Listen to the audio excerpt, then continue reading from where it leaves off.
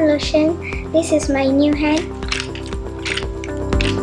When I first met Padmaloshn, I was really struck by how intelligent, resourceful, and altogether adorable um, this little boy was. It was only later that I noticed he had a partially formed right hand. I also happened to work with 3D printing technology for Materialise, a Belgian company with its regional headquarters here in KL. Most of our staff here work on medical applications of this technology, including myself. And I'd come across e-NABLE, um, which is a volunteer organization that provides hand prosthesis to children like Padmaloshn for free. When Padmaloshn was first born, we actually looked up and found out that his condition was called Amelia. Now, uh, there were not many treatment options available in Malaysia. We did consult a few surgeons and they said they really did not offer anything much in Malaysia itself. Uh, then when I looked into these uh, bionic arms and uh, all these prostheses, the issue was the cost lah. So we were uh, contemplating what to do and all. Till I actually met Aishwarya in uh, my size center. So that's when she introduced, I mean, she actually uh, noted to me about this uh, 3D printing and all.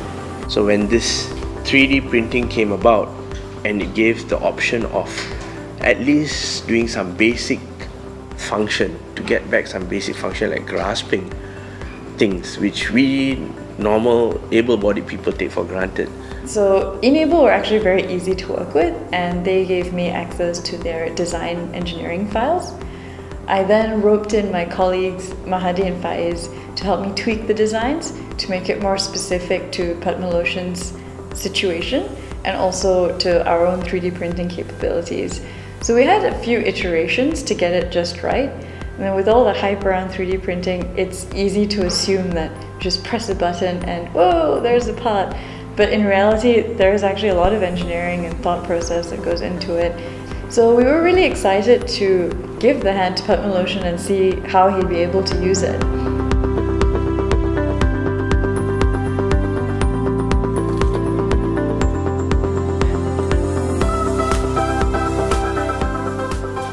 Uh, I can see that he's more confident. Of course, before this, he's able to, I mean, when we throw a ball, he's able to catch and all. But with the hand, today as the first day also, he looks so so much more confident in catching the ball and all. So I think it's just a matter of time and uh, learning, and uh, eventually he will be able to do a lot of things with the hand.